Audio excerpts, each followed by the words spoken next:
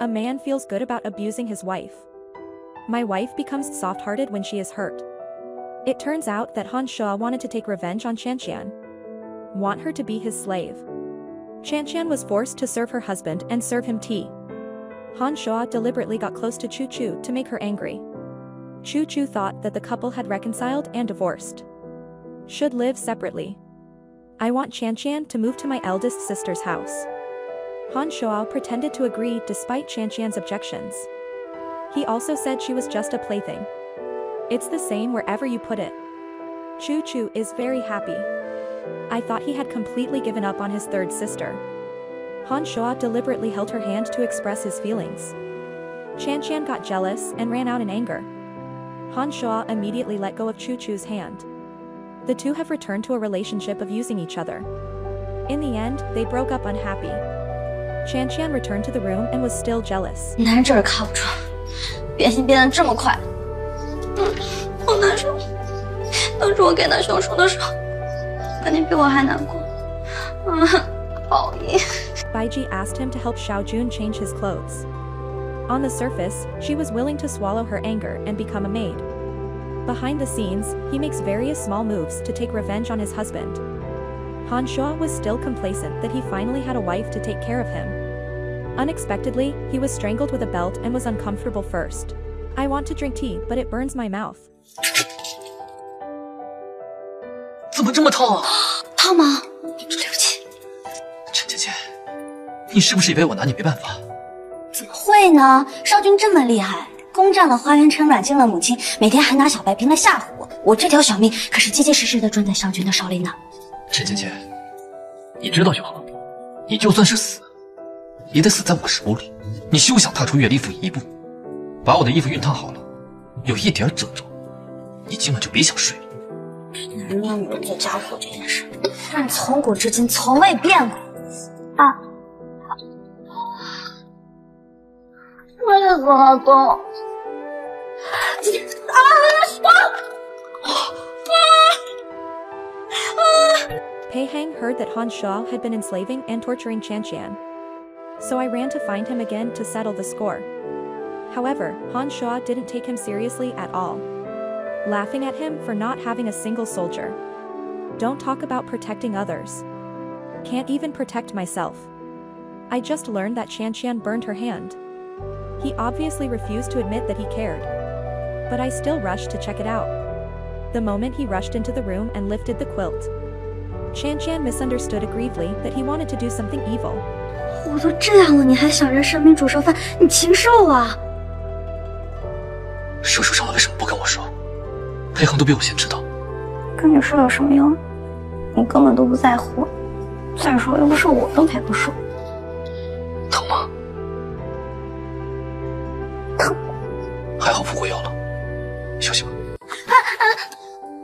一个人吗！我让子睿过来守夜。你陪陪我。Although Han Shua stayed with her. But I still haven't forgiven Chan Chan. He occupied the whole bed by himself. Instead, he let her sleep on the floor. 地板真的很硬。硬点对腰好。今天的月亮跟你第一次在我房间留宿的时候一样圆。对不起啊，我骗了你，你一定很难过，对不对？如果你也是在骗我就好了。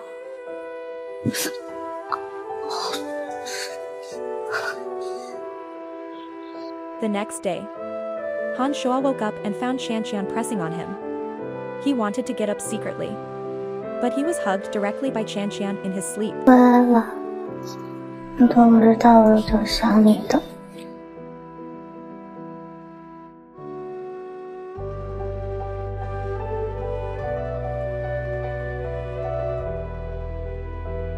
After a night, the two reconciled as before. Han Shao helped him treat his wounds thoughtfully. I plan to wait until the matter in Huayuan City is over.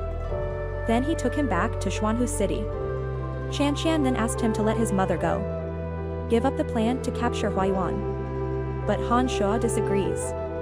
Worried that this is her honey trap. The two had a dispute over this.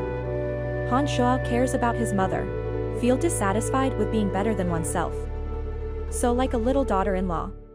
Asked an unanswerable question. 如果我与你母亲同时掉进水里，你先救谁？你居然问我这种送命题！看来你是打算先救她。不是我说你一大男人，你不会游泳吗？你跟女人争什么？现在你承认我是大男人了，在你们花园城，不是男人更弱小、更卑微吗？In the end, Han Shuo threatened the city lord with his life. Chan is not allowed to step out of the room. In order to rescue Chan Pei Heng stole Chu Chu's flower charm, calling on the city guard in the name of Mother Pei Sijuan. Swear to the death to be loyal to the city lord.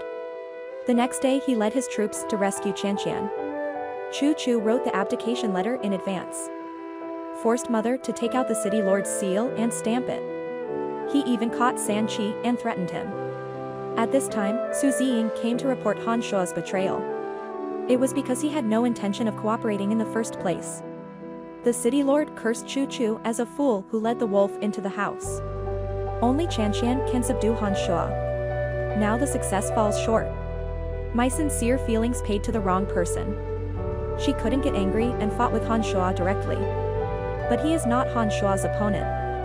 After a few rounds, he was knocked to the ground by the opponent. If Su Ziying hadn't drawn a knife to resist, I'm afraid she's already dead. Just when Han Shuo picked off Su Ziying's sword. When preparing to kill, Chan Qian and Pei Heng led the city defense army to arrive. Stop Han Shuo and Chu Chu who surrounded the rebellion. Han Shuo is very disappointed with Chan Qian. She finally chose her mother. But in Chan Qian's view, her affection for Han Shuo. It does not conflict with protecting the people of Huayuan.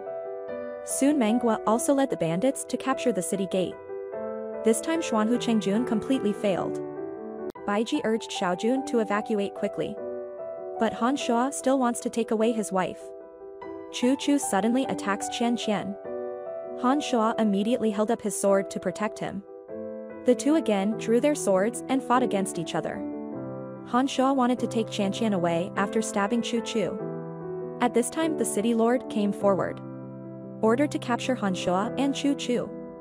Han Shuo also surrendered under Chan Qian's persuasion. Pei Heng found the city lord in private. Pleading for mercy for his biological sister Chu Chu. The city lord promised to spare Chu Chu. Put all the blame on Han Shuo and prepare to kill him. Unexpectedly, in the end, he forced the woman he loved most to death.